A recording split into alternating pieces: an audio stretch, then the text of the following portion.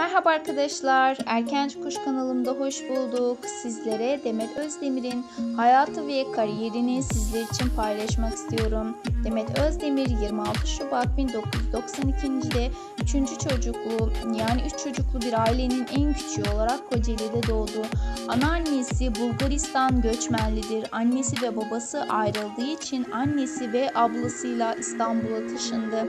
Özdemir bir röportajda babasıyla ilişkisi üzerine yıllarca görüşmedik ama kısa süre önce barıştık.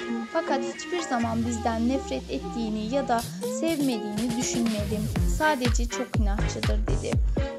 Bengü'ye performanslarında eşlik eden dans sanatçıları ekibinde yer almış ve daha sonra e, Efes Kızları kadrosunda dans performansı sergilemeye başlamıştır. 2011-2013 yıllar arasında stüdyo oyuncularında yürütülen eğitimlerde katılarak 2 e, yıl boyunca oyunculuk eğitimi aldı. Çok güzel oyunculuk eğitimi ve güzel dans hocasıdır. Sizler için de en güzel karelerini bir araya toplayıp sizler için paylaştım. Hoşçakalın.